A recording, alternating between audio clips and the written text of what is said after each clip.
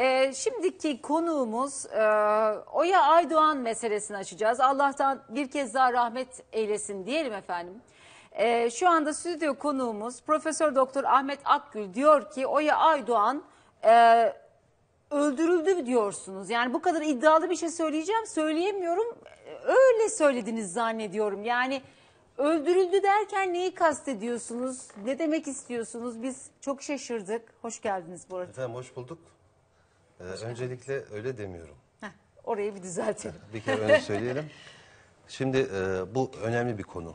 E, Allah e, gani gani rahmet eylesin değerli sanatçımıza. Burada e, burada alınacak dersler var diyorum. Ve hem toplumumuzun hem e, bu işin zamana karşı yarış olduğunu bilinmesini gerektiğini söylüyorum. E, yoksa yapılanlar tabii ki e, yapıldı fakat sonuç biraz negatif oldu. Yani yanlış müdahale mi? Şimdi efendim öyle bir cümle söylemiyorum. Ben yalnızca anlatayım zaten meseleyi size. Şimdi bu konuyla ilgili şunu söyleyeceğim. Ee, bu şuradan başladı iş. İşte boğazına yemek parçaları tıkandı.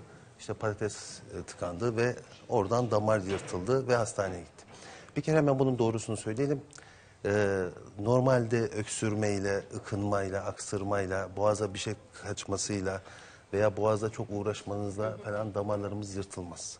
Damarlarımız bütün bu reflekse e, karşı korunaklıdır. Ne kalbimiz ne damarlarımız herhangi bir şekilde direkt kendisine müdahale etmediğiniz zaman yırtılmaz. Boğazdaki işlemden dolayı bir aort damarımız, bir kalp damarımıza bir şey olmaz.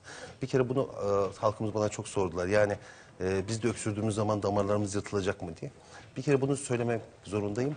Peki niye bu damar yırtılır? Damarın niye yırtıldığını anlatayım. Özellikle tansiyon hastalığı varsa ve bu tansiyon kontrol edilememişse kalpten çıkan ana damarımız var aort dediğimiz. Bütün vücudumuzu, beynimizi, kollarımızı, bacaklarımızı besleyen, bütün organlarımızı besleyen damardır. Bu damar tansiyonla beraber içindeki kan basıncı arttığı zaman normalde olmasından daha fazla gergin hale gelir. Normalde 120 milimetre civadır. Bizim basıncımız da halk arasında 12'dir. İşte küçüğü 8'dir.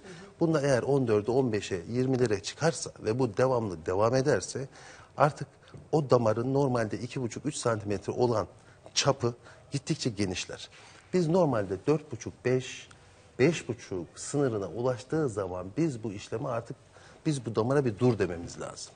Önceden müdahale mi olması gerekiyor? Önceden müdahale olması gerekir.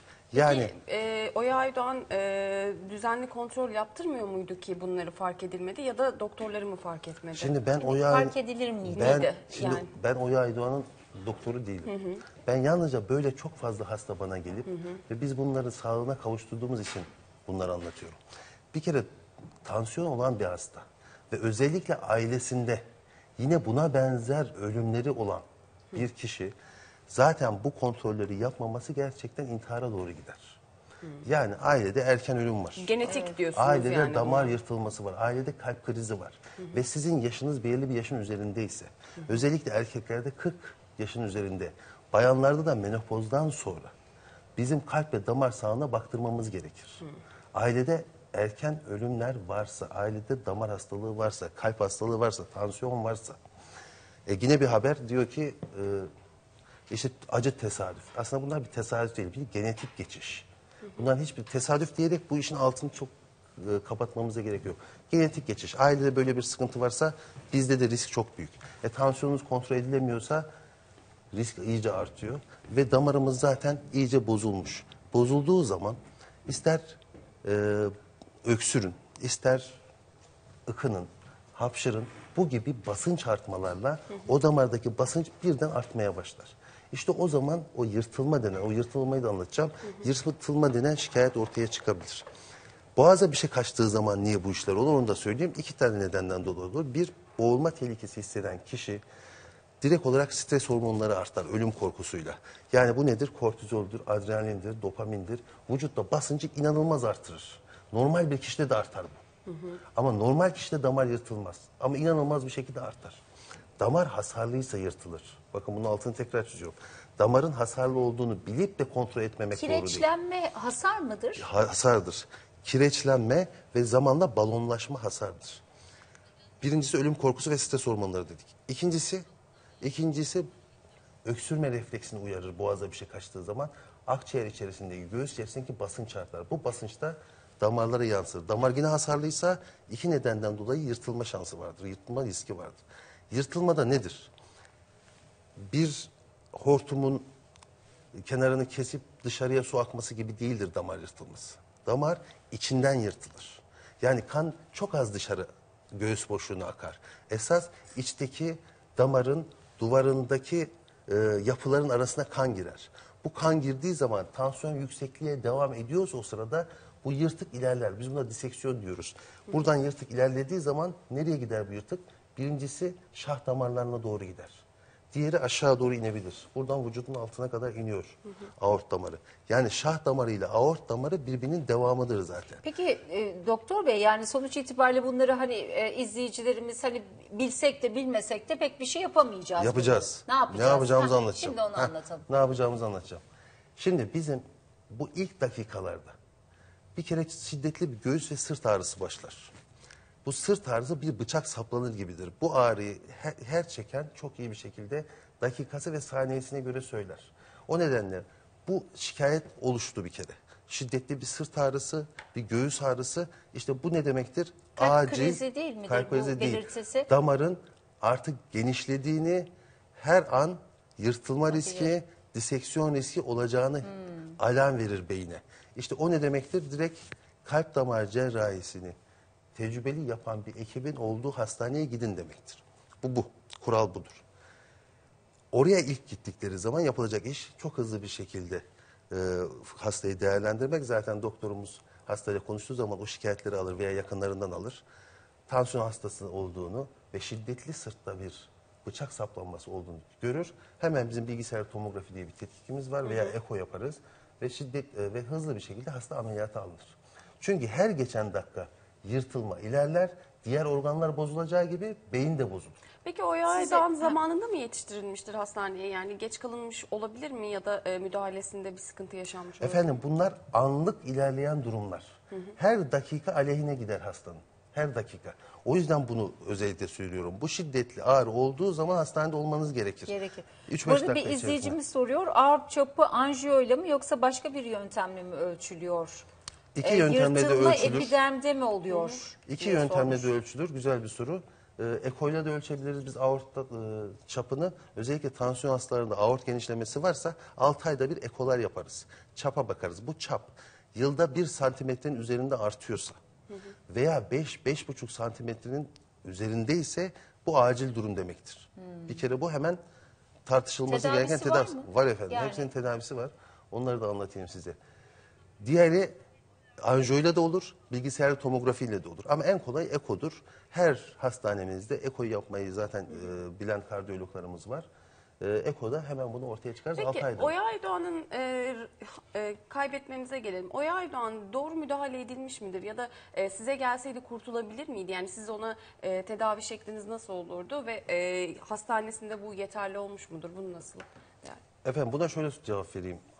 Hastanesinde yeterli müdahale edilmiştir. E, bizim farkımız şu, bize böyle çok hasta geldi. yani Ve size biz- gelse kurtulur muydu hocam? Böyle bir şey diyemeyiz efendim şu anda. Bizim hastanemize böyle gelenler oldu. Biraz zamanla yarış olduğu için belki iki dakika önce geldi hasta. Biz daha kolay müdahale ettik. Daha tecrübeliyiz. Belki o yüzden hemen organizasyonu yapıyoruz. Ee, şimdi bir hastane veya bir doktor hakkında e, yeterli müdahale olup olmadığını söylemek etik değildir.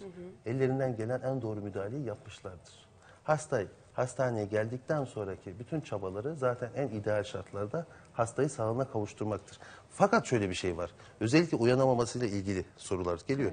İşte o geldiğinde o yırtık şah damarına da ulaşmışsa o yüzden hasta geldiğinden itibaren nörolojik defisit dediğimiz e, işte felç riski, uyanmama riski zaten geldiği dakikadan itibaren vardır.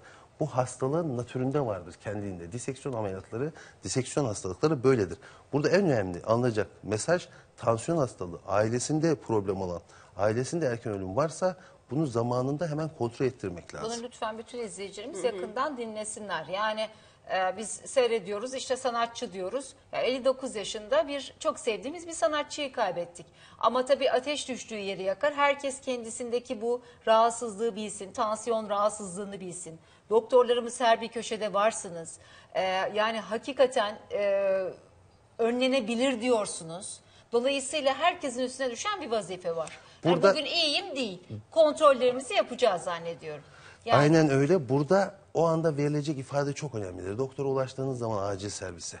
Eğer hastane ve ekibi sizi tanıyorsa, kayıtları varsa veya sizin üzerinizde bir hastalık kimliği varsa, öyle kimliklerimiz de oluyor. Biz kendi hastalarımızı öyle takip ediyoruz. Ve denilecek ifade şu. Efendim tansiyon hastalığı vardı. işte boğazına bir şey kaçtı ama birden sırtına ağrı girdi. Ve bu bıçak saplanır tarzda dediğin zaman hemen alarma geçer doktor.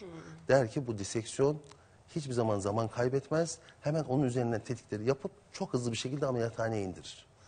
Bu hastalığın tedavisi ameliyattır. ama eğer iyi dinlenmediyse e, ya o da zaman oralardaki o gerçek şikayetlerini söyleyemedilerse Söyleyememişler. O zaman Söyleyememişlerse- şuradan şunu söyleyeceğiz. Hasta kendini öncelikle çok iyi tanıyacak. Söyleyebiliyorsa. Söyleyebiliyorsa. Bayık hasta baygın da gelebilir. Yakınları çok Bilinci iyi yerinde tanıyacak. değil olabilir. Yakınları. Mesela burada bu mesajı da verelim. İşte beraber diyalog ettiğiniz kişide çok şiddetli bir sırt ağrısı başladı. Ee, bu bıçak saplanır gibi. Efendim siz şu ağrı kesiciyi alın biz yarın bir bakarız değil. Hmm. Hemen orada bir de tansiyon hastası. Bir de ailesinde bu derken varsa. gösterir misiniz? Yani neresi? Şu kürek kemiğimiz var ya arkada. evet şu Kürek kemiği tam onun ortası. tam o, Ortaya tam aynı oraya şurası. oraya oraya bıçak saplanır. Bıçak saplanır Aynen gibi kelime kelimeyle aynı. Bıçak saplanır. Peki bu kol uyuşması onlar Onlar hepsi onlar olur. Hepsi olur. Hepsi olur ama en dramatik bulgusu o iki kürek kemiğin arasına bıçakla oyuyorlar gibidir. Yani an- a- ağrı kesici almıyoruz bu durumda. E, En yakın e, sağlık kuruluşuna başvuruyoruz. O ağrıyı örtmeye çalışmayın. Çalışmıyoruz. O ağrıyı örtmek Doktorların da örtmesine izin vermiyoruz. aynen öyle zaten örtmezler. O zaten bir alarm demektir. Tüm acil ekibi için, tüm hastane için. Burada hani saatli bomba var dediniz ya. Bu saatli bomba gibidir. Ve artık o anda primi çekildi. Patlamaya hazır bir durum. Yani orada artık işin hiç şakası yok. Ameliyathane ekibi hazır olup hemen hasta ameliyathane tetkiklerden sonra inmesi gerekir. Hatta bazı tetkikleri ameliyattan sırasında bile yapabilirsiniz. Mesela kan grubu tetkikini. Mesela Anladım. O kadar acil o kadar acil bir durumdur. yani. Dakikayla saniyeyle yırtılma artıyor çünkü. Ve hızlıca tansiyonu düşürmeye çalışabilirsiniz. Yani bize yüzlerce böyle hasta geldi. Yani e, bizim ekip tam bu konuda e, bu işi yapan bir ekip. O nedenle bunları anlatıyorum. Peki mesela e, bu tip e, durumlarda, acil müdahalelerde İstanbul'daki ya da işte Türkiye'nin herhangi bir yerindeki hastanelerin teçhizatı e, hepsi buna müdahil olabilecek düzeyde midir? Yoksa ekstra bir e, teknoloji gerektirecek e, bir duruma ihtiyaç var mı? Yani Efendim kalp damar köşe cerrahisi başındaki hastaneler değil. de var. İşte e, sizin e, Doktor Sadi Konuk Eğitim Ar- Değil ve. Araştırma Hastanesi de var. Yani, Yani Burada yer olması da hocam yani Şimdi bu ayrı bir e, soru. Şunu söyleyeceğim size. Şimdi belirli merkezler olur. Kalp cerrahisi her yerde yapılan bir ameliyat tekniği değildir. Kardiyoloji ve kalp cerrahisi belli hastanelere özgüdür. O nedenle her hastanede yoktur bu. E, buradaki merkezlerden e, merkezlerde özellikle ilgi alanları vardır. Birisi koroner cerrahi yapar, birisi kalp kapağını yapar, birisi damarları değiştirir, biri diseksiyonla ilgilidir. Hep eğitimle ilgilidir bu. Bir de kurum kültürüyle ilgilidir. Onu hemen tanıyıp hissetmekle ilgilidir. Orada asistanından profesörüne kadar herkes bu konuyla haşır neşir olmuştur. Hem hasta ameliyat öncesi hem ameliyatta hem ameliyattan sonra. Ve hasta takiplerinde. O yüzden adamların akllarında zaten vardır bu. Efendim bıçak saplanıyor, tansiyon hastası, aile risk var, ameliyathaneye hazırlayın. Mesela- Şu cümle hemen söylenir. Bu cümle hayat kurtaran cümledir. Efendim tetkiklere başlayın, bir hazırlık yapalım, bir bakalım ne var ne yok derseniz sıkıntı olur. Şimdi hayat Yırtılma kurtarır artır. tabii orada bir enteresan bir şey de var. Bu ağrı kalıcı mı geçici mi diğer ağrılarla karıştırılır mı diye soruyor Bu ağrı diğer Önemli ağrılarla soru. karıştırılmaz. Allah'ın bir nimeti çünkü bu.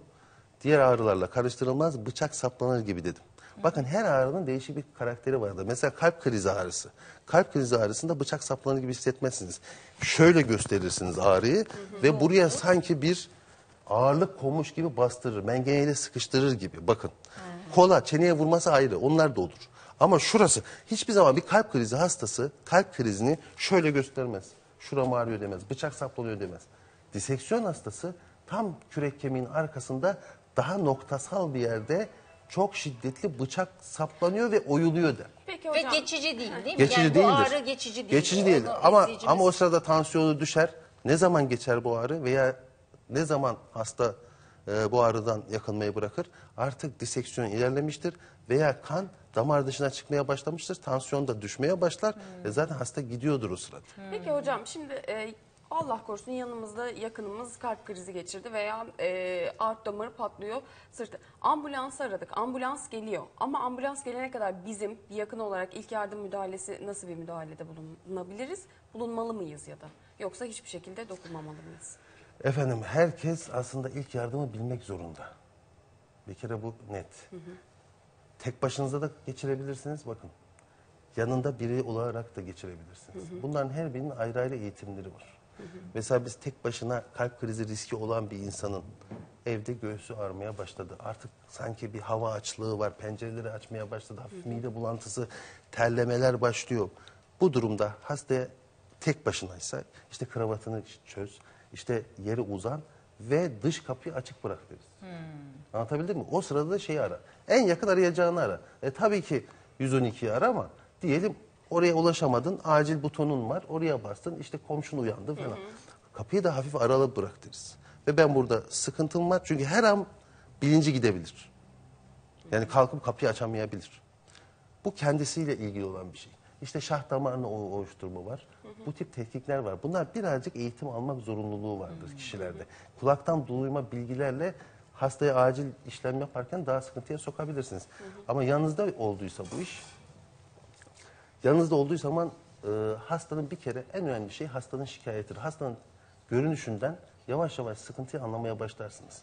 Bakın ben ne dedim? Sırtta şiddetli bir bıçak saplantısı varsa siz ona çok fazla mücadele edemezsiniz. En yapacağınız iş hemen acili aramaktır. arama. Anlatabildim mi? Ve acilin gelecek şartlarını arttırmaktır. Hastayı çok çabuk mobilize etmek, hareket ettirmek. Ee, kalp krizi ağrıları ayrı. Kalp krizinde işte hava açlığı vardır, bol oksijen vermemiz lazım. Kalp durduğu zaman onun değişik bir masajları vardır, nefes Tabii, alıp verme vardır. Bunların herkesin bilmesi gereken şeylerdir. Çünkü zannetmeyin ki başımıza gelmez. Her an başımıza gelebilecek bir şeydir. Peki. Hocam e, İbrahim Tatlıses konusunda İbrahim Tatlıses'in de hani çok ciddi bir e, rahatsızlık geçirdi beyninden falan felçliydi. E, şu anki durumunu nasıl değerlendiriyorsunuz ve e, Yani siz ilerlemesi- burada bütün sanat camiasını bana tedavi ettireceksiniz anlaşılan. hazır bulmuşken. Şimdi e, İbrahim Bey de tabii geçmiş olsun. E, tabii talihsiz bir olay yaşadı. İşte hemen kafatasının orada bir kurşunla ilgili e, bilgiler almıştık. Orada şöyle bir durum var.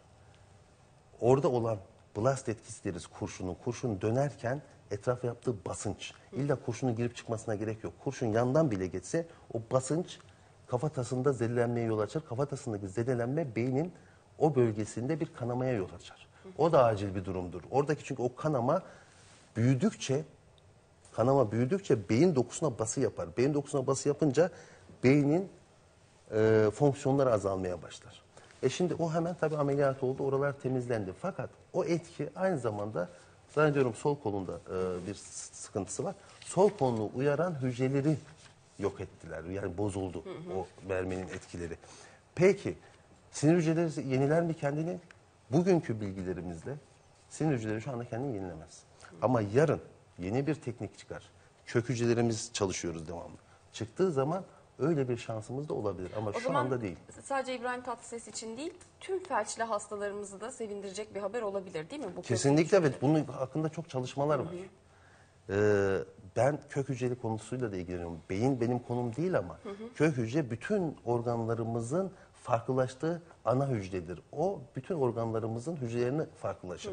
O nedenle kök hücreyle ilgilenen bir hekim genel olarak diğer organlarla da ne gibi bir şey olabileceğini tahmin eder. O yüzden ben söylüyorum. Kök hücreyle ilgili çok ciddi çalışmalar var. Umarım yakında e, Sayın Tatlıses'e de güzel haberler veririz. İnşallah. Çok teşekkür ediyoruz Rica ederim Profesör. Doktor Ahmet Akgül. Ayağınıza teşekkür ederim, sağlık. sağ Çok olun. sağ olunuz, var olunuz.